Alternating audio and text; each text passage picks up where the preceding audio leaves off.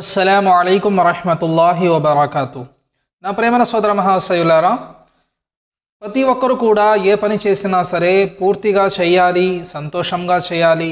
అదేవిధంగా మా ప్రతి పని కూడా అవ్వాలి అని చెప్పి ఎంతోమంది అనుకుంటూ ఉంటారు.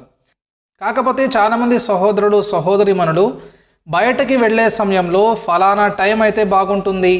లేదంటే మేము బయటకు వెళ్ళే సమయంలో మా ముందు పెళ్ళి ఎదురైనా లేదంటే కుక్క ఎదురైనా లేదంటే చనిపోయిన వారి బంధుమిత్రులు ఎవరైనా ఎదురైనా సరే మేము వెళ్ళకూడదు దానివల్ల మాకు నష్టాలు కలుగుతాయి అని చెప్పి చాలామంది ఒక అపోహలో ఒక సందేహంలో ఉంటారు.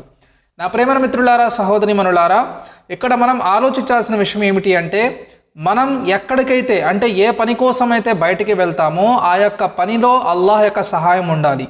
మనం ఏ పని కోసం అయితే వెళ్తున్నామో ఆ యొక్క పనిలో అల్లాహు తాలా మనకి అనుగ్రహించాలి.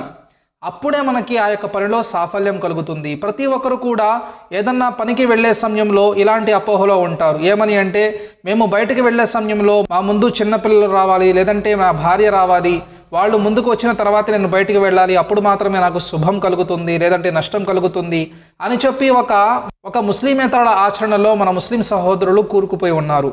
నా ప్రేమ మిత్రులారా ఈ రోజు నేను మీ అందరికీ తిరిమిజి షరీఫ్లో దైవప్రవక్త మహమ్మద్ సల్లల్లాహు అలీహి వసల్లం గారు ఒక దుఆ తెలిపారు.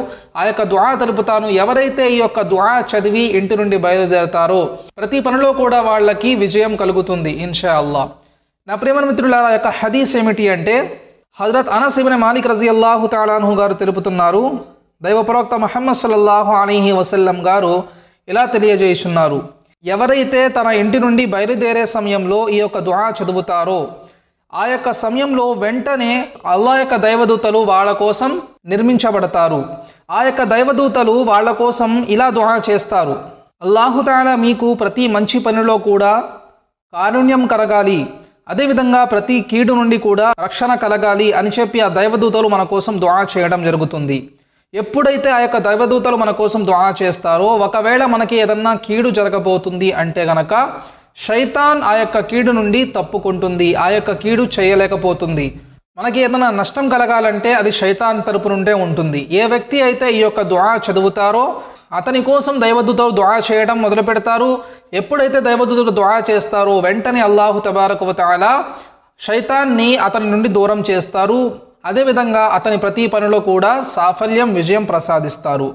నా ప్రేమ మిత్రులారా ఆ యొక్క దుఆ ఏమిటి అంటే బిస్మిల్లాహి తవక్కల్తు అలల్లాహి లా హౌల వలా కువ్వత ఇల్లా బిల్లాహ్. మరోసారి వినండి బిస్మిల్లాహి తవక్కల్తు అలల్లాహి లా హౌల వలా కువ్వత ఇల్లా బిల్లాహ్. ఈ యొక్క దుఆ అర్థం ఏమిటి అంటే నేను అల్లాహ్ నామముతో బయలుదేరుచున్నాను. అల్లాహ్ పైనే నా యొక్క భరోసా ఉన్నది. ఏదైనా శుభములు లభించుటలోనూ ఏదైనా కీడు నుండి తప్పించబడుటలోనూ సాఫల్యము కూడా అల్లాహు తాలా యొక్క ఆజ్ఞ వలనే జరుగును అని చెప్పి ఈ యొక్క దుఆకి అర్థం వస్తుంది.